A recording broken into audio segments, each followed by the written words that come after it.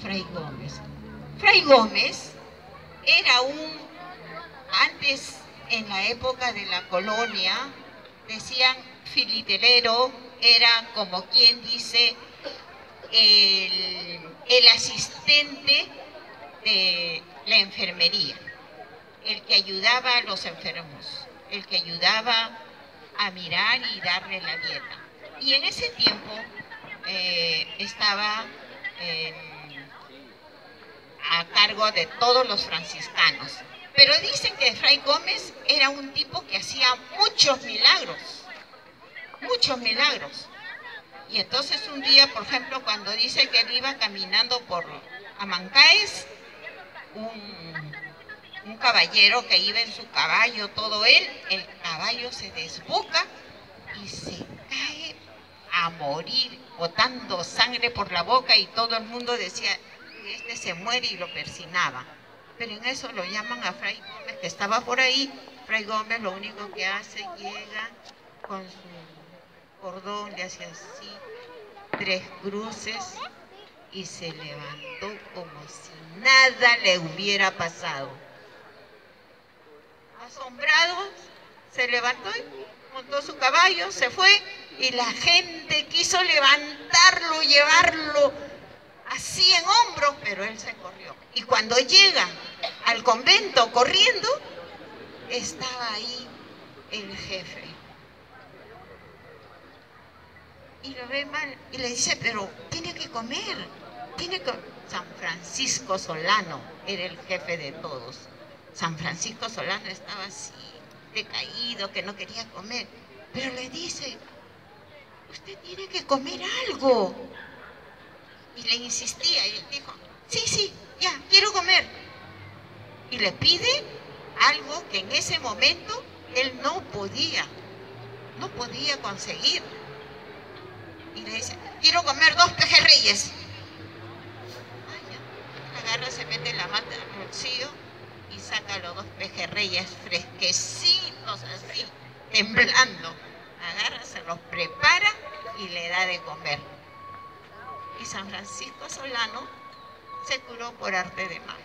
Y así, hasta que un día él estaba, él estaba en su habitación, que era pobrísima su habitación, apenas tenía un silloncito viejo, con los fierros oxidados, una mesita, una tarima, y de cabecera, ¿saben qué tenía? Una piedra. Esa era su cabecera, ese era todo su cuarto. De repente tocan la puerta y él dice, ¿quién? Y una voz que es cumbrosa que dice, por favor, Fray Gómez, usted me tiene que salvar, usted me tiene que salvar, me estoy muriendo de hambre, mi familia se muere de hambre, ya no tenemos que comer, no hay negocio. Y eran, ¿sabe qué? Era un español que hace poco había llegado a Perú y cuando ellos venían se dedicaban solamente al comercio. Y, le dice, pero, pero yo qué te puedo dar? Necesito, le dice, 400 pesos para levantar mi negocio. Pero mira, mira, mira cómo está esta habitación. ¿Tú crees que pueda tener yo 400 pesos acá? No sé, pero usted me tiene que dar. Hermano, tenga mucha fe. Y comienza a mirar su habitación así.